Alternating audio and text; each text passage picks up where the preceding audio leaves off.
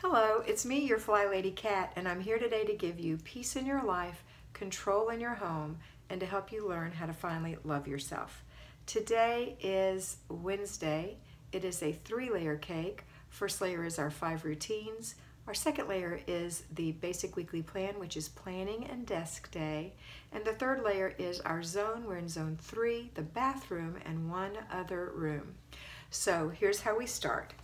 We're going to do if you're working, you're going to get up in the morning and you're going to do your morning routine and then the children will have their routines. You're going to do a clutter check. Then you're going to go, you're going to grab your action items to take with you to work. You're going to look in the fridge, the freezer, and the pantry and see what's in there so that you can make up a menu and a grocery list while you're at work today. Um, you're going to pay some bills at work. You're going to balance your checkbook at work. You can do these on your breaks and lunch hour. I promise. I've done it for years and years, and you can too. Um, at lunch, you're going to remind your children if you have delegated part of the weekly home blessing hour, you're going to call them and remind them what it is that they that they should be doing. If they're already in school, then you're going to call them on your first break and remind them when they get home what they should be doing, a one 10 minute item or less. And then when you leave, you're going to call to remind them once again. And then when you get home, you're going to do a quick clutter check you're going to inspect what you expect, which will be that basic weekly home item.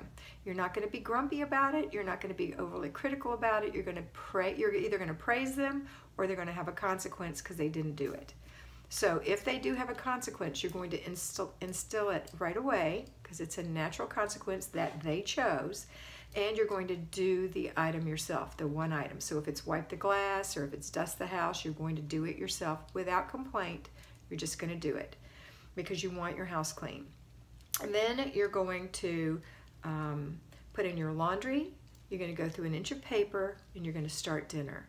While dinner is simmering or holding, you're going to do either some deep cleaning in your zone, or if you don't have the ability to deep clean because there's clutter, you're going to declutter in the zone for 15 minutes.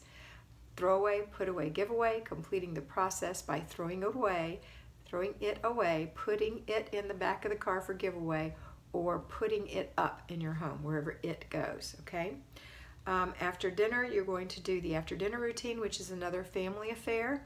Again, if your children choose not to cooperate, they choose not to help doing these tiny little things, another consequence immediately happens. Don't put those off. Kids don't think that consequences are going to matter until they happen, and then they really have a fit and they'll blame you. But it is not you. They have chosen this. And then you'll do their part of the work without complaint yourself. Um, and then you're going to do another clutter check before bed and then the before bed routine for yourself after you do the before bed routine for your children. That's your day. You've got this. You can do this, and this is going to make your life better. I promise.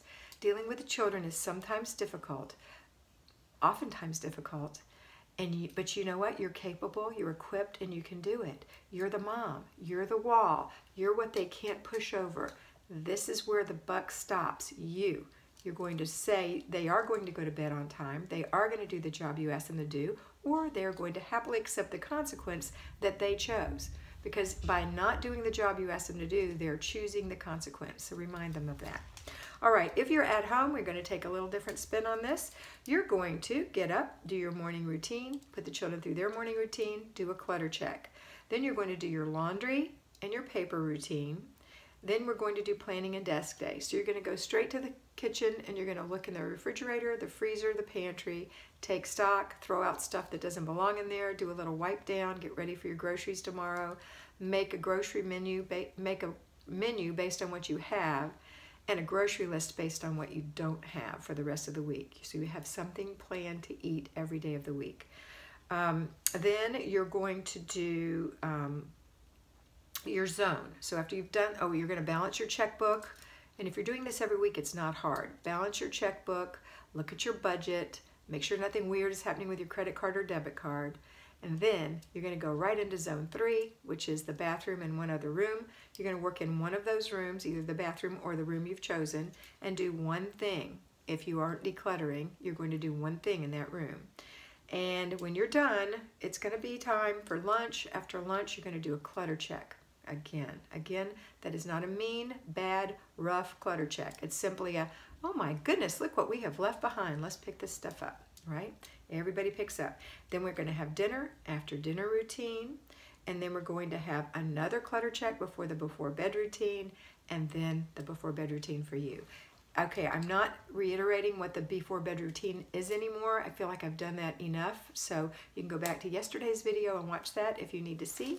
Or if you don't know any of the stuff I'm talking about, please go watch the video called How to Do the Fly Lady System for Newbies on my homepage. 40 minutes long. Please take notes. This is going to make it so much easier. I know it sounds like a lot when I'm saying all this stuff, but it, you've got a lot of time to do this in and it takes very little time. It just takes a lot of time to say it on a video, but I've said it all for two kinds of, uh, of situations in 5 minutes and 45 seconds. So I know you can do it. All right, that's it for today. I want you to have a wonderful day and always remember that you are beautiful. Bye.